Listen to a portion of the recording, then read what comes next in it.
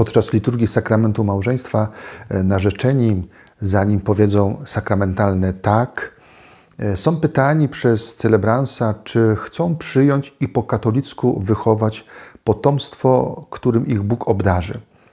No i wtedy ci, którzy chcą zawrzeć sakramentalny związek małżeński, odpowiadają tak. E, natomiast kiedy, w jakich okolicznościach Bóg tego daru życia udziela ich potomstwu, tego nie wiemy.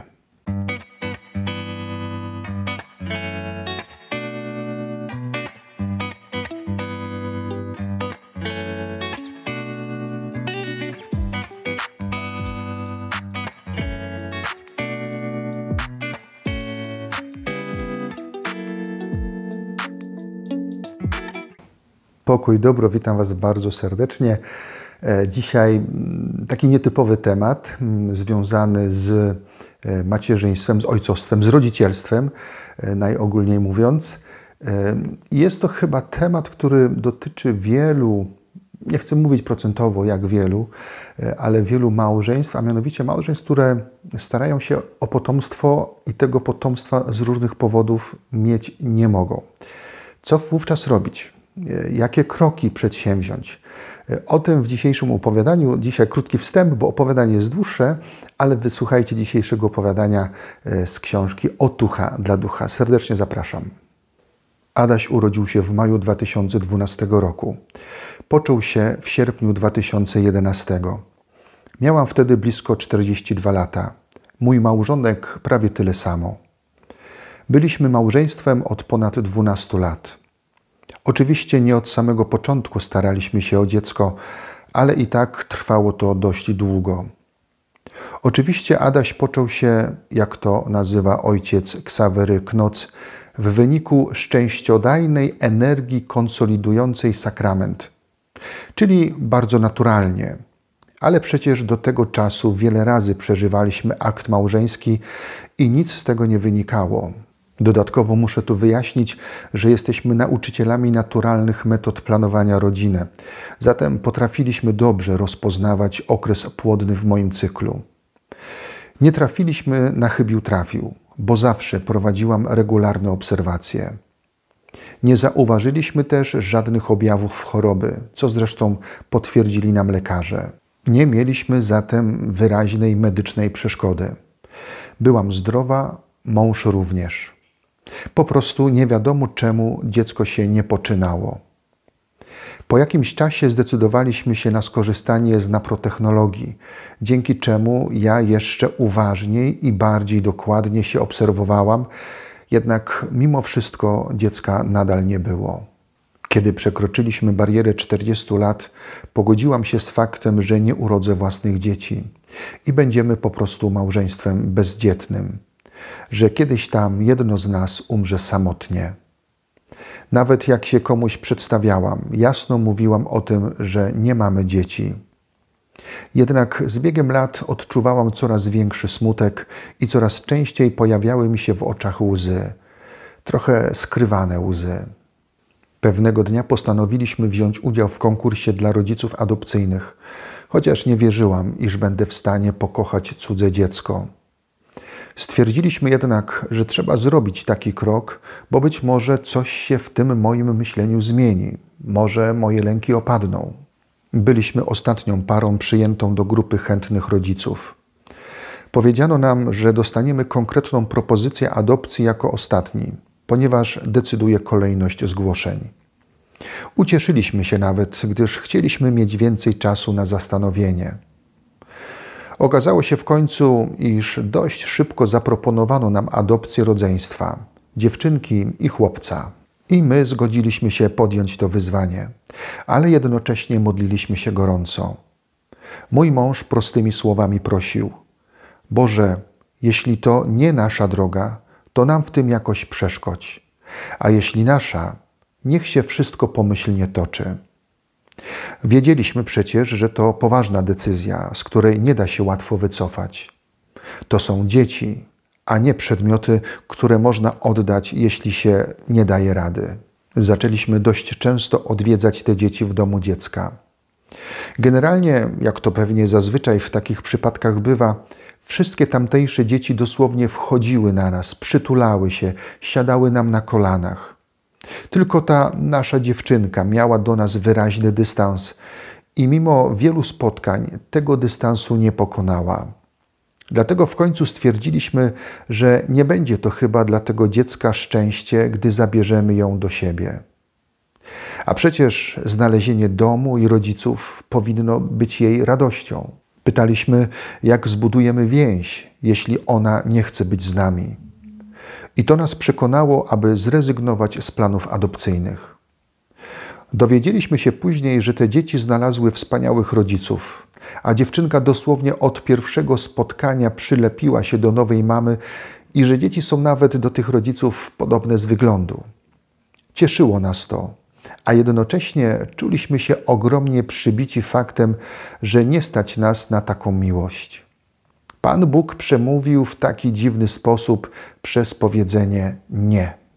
Pamiętam, jak bardzo mocno rezonował zawsze we mnie opis z Księgi Rodzaju, kiedy to niepłodna Sara namówiła swojego męża Abrahama, aby wziął niewolnicę Hagar i miał z nią potomka, dziedzica rodu. Wówczas metodę taką jak najbardziej dopuszczano i praktykowano, ale było to jednocześnie działanie oparte wyłącznie na ludzkich spekulacjach. Urodził się Ismael, chociaż Pan Bóg miał w planach Izaaka. Okazało się, że niekoniecznie taki miał być scenariusz życia Sary i Abrahama. Mnie ten fragment zawsze jakoś ostrzegał, aby nie kombinować za bardzo po ludzku. Wiedziałam, że muszę być cierpliwa, działać dopiero po dobrym rozeznaniu. Nie chciałam brać dziecka jak się da najszybciej, tylko dlatego, że nie mogę doczekać się swojego. Bo chyba taką właśnie drogą czysto ludzką byłaby dla nas ścieżka adopcji. Ponieważ jednak szczerze się modliliśmy, Pan Bóg wyraźnie zamknął tę możliwość. Pewnego razu pojechałam na rekolekcje ignacjańskie. Tam przeżyłam niezwykle mocno jedną z medytacji biblijnych. Była to medytacja o narodzeniu Jezusa. Ojciec prowadzący zachęcał, aby wyobrazić sobie, jak Maryja rodzi Pana Jezusa, aby samemu się tam gdzieś w tej scenie postawić i na koniec bardzo szczerze o tym z Maryją porozmawiać. Ja z wyobraźnią nie mam problemu, więc wyobraziłam sobie ten poród bardzo plastycznie. Widziałam Maryję rodzącą w postawie stojącej. Ja chciałam jej pomóc, więc wyszłam z gospody i poszłam do stajenki. Chętnie ci pomogę, tylko nie wiem jak, powiedziałam w wyobraźni do Maryi. Nie martw się, ja ci podpowiem, bo widziałam, jak rodzi się dziecko Elżbiety, odrzekła Maryja. Zatem odebrałam Pana Jezusa i potem udałam się na tę najważniejszą rozmowę z Maryją. I podczas tej rozmowy rozbeczałam się po prostu. To były łzy bólu. Pierwszy raz płakałam z powodu prawdziwego bólu. Powiedziałam wtedy Maryi: Ja też bym chciała urodzić własne dziecko, dziecko, które będzie do mnie podobne. Chciałabym przejść to wszystko tak, jak to normalnie przechodzi kobieta.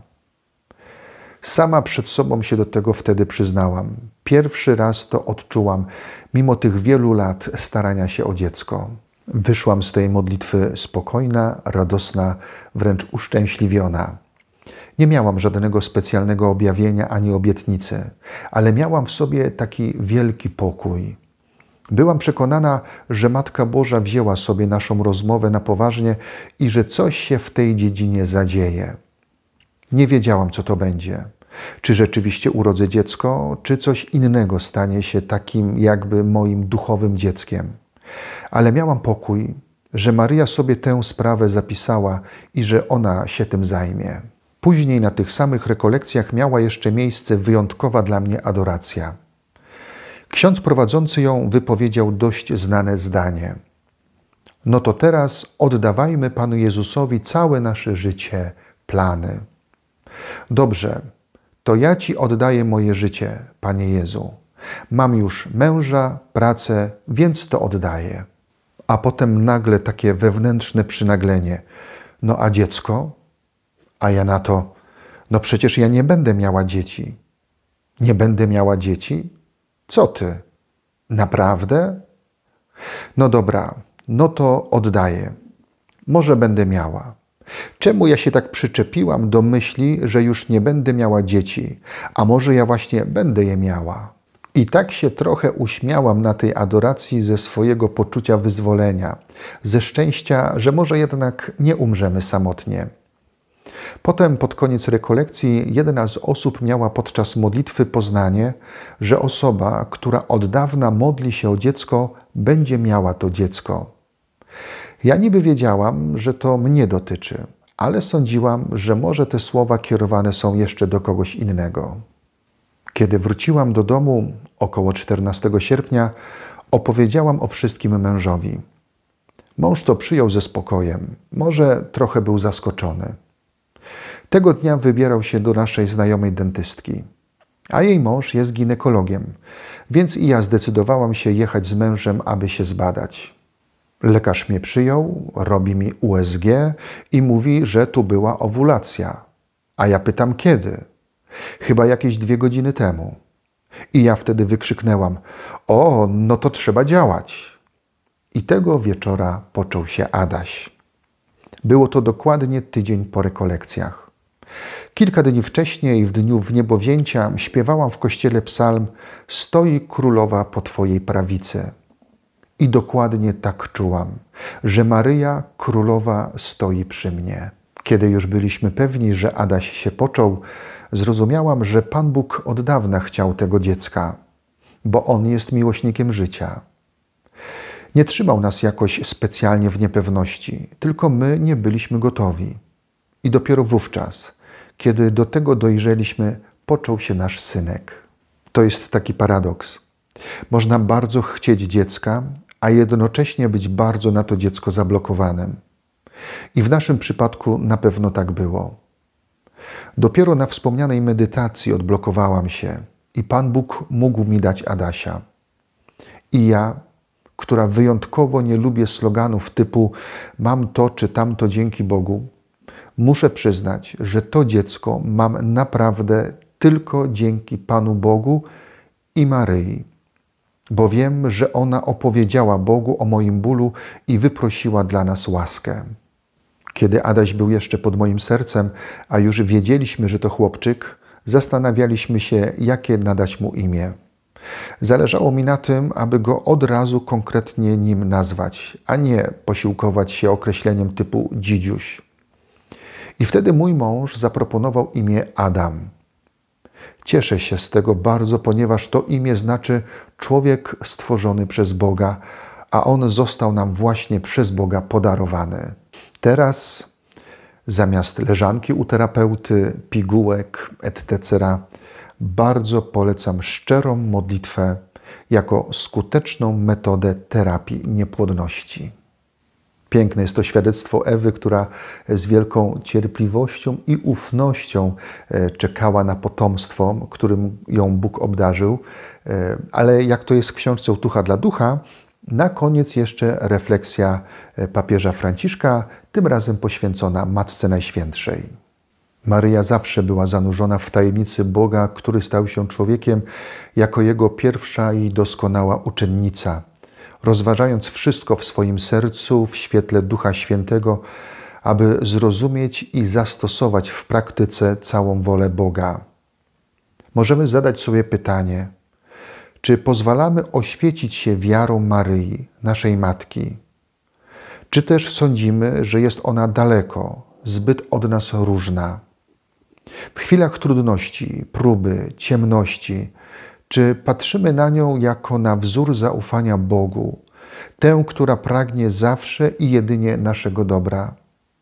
Pomyślmy o tym. Może będzie dla nas korzyścią odnalezienie na nowo Maryi jako wzoru i uosobienia Kościoła w tej wierze, którą ona miała. Niezwykłe to doświadczenie, e, które opisała Ewa. E, nie tylko jej doświadczenie, ale również jej męża. E, takiego wielkiego zaufania do Pana Boga i takiego przekonania, że Bóg w sobie wiadomy sposób udzieli im daru potomstwa. Nie wiedzieli w jaki sposób to się dokona, ale głęboko wierzyli, że Pan Bóg w taki czy inny sposób, jak to Ewa e, napisała, tego daru potomstwa im udzieli. Oni byli otwarci na życie. Bóg jest otwarty na życie, Bóg jest dawcą życia, oni byli otwarci na życie, ale coś musiało się wewnętrznie dokonać, żeby byli gotowi na przyjęcie e, tego daru potomstwa, daru nowego życia. Modlitwa, adoracja, trwanie przed Najświętszym Sakramentem. To był ten moment, kiedy, jak pisze Ewa, ona odblokowała się na dar życia. I teraz zamiast leżanki u terapeuty, zamiast pigułek czy innych, e, innych metod, bardzo poleca szczerą modlitwę jako skuteczną metodę terapii niepłodności. E, pewnie coś w tym jest, w, w, w tym takim wewnętrznym pokoju, w tej otwartości na, na, na dar życia i w tym wielkim zaufaniu do Boga, które rodzi się na modlitwie, które rodzi się na modlitwie. E, być może, być może jest to mm, jakiś znak czasu, że e, skoro wiele małżeństw. Nie wchodzi w sakramentalne związki małżeńskie, skoro wiele małżeństw e, nie prowadzi głębokiego życia duchowego, skoro wiele małżeństw e, nie otwiera się na dar Bożego życia, to Bóg tym życiem nie obdarowuje. Być może tak jest, być może jestem w błędzie, nie wiem, ale, ale Bóg chce udzielać życia i Bóg może udzielać życia tym, którzy są zdolni to życie w miłości przyjąć.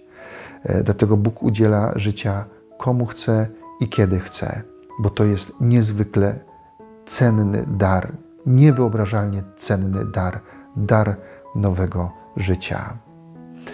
Tyle na dzisiaj. Życzę wszystkim dobrego, spokojnego wieczoru. No i zapraszam na wieczorną modlitwę. Pokój i dobro.